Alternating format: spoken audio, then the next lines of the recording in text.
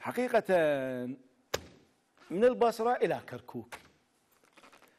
إذا البصرة كانت هي أم الخير خبزة العراقيين لأنه البصرة هي يعني النفط اللي هو أصل ثروة العراقيين.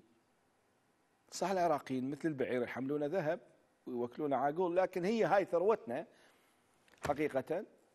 النفط المعتمدين عليها صار لنا 90 سنة والبصرة الفيحاء هي أم خبزة الخير النفطية العراقيين جميعا. كركوك بالمقابل هي العراق. كركوك هي عراق مصغر. وهكذا وصفها اليوم كما كان يصفها سابقا. وما زال القائد العراقي جناب الشيخ خبيث الخنجر زعيم حزب السيادة وزعيم حزب أهل السنة والجماعة في العراق وصف كركوك اليوم بزيارته المهمة والاستثنائية لها بأنها عراق مصغر. وحدة كركوك هي وحدة العراق. استقرار كركوك ومكونات كركوك هو استقرار للعراق.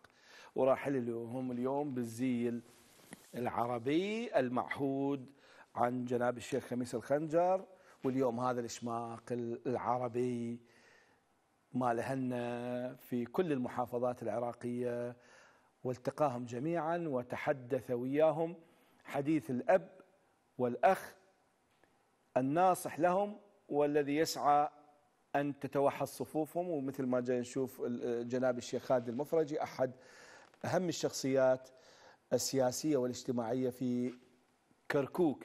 طبعا القائد العراقي جناب الشيخ خبيث الخنجر زعيم أهل السنة والجماعة في العراق زعيم حزب السيادة كان صادق وصريح مع أهل كركوك بأن علينا أن نتجاوز كل المشاكل وتجاوزناه وجيناكم لأنه كركوك يجب أن تكون مستقرة وتكون باتجاه البناء للمستقبل الذي ينشده أهلها كما ننشده جميعا كعراقيين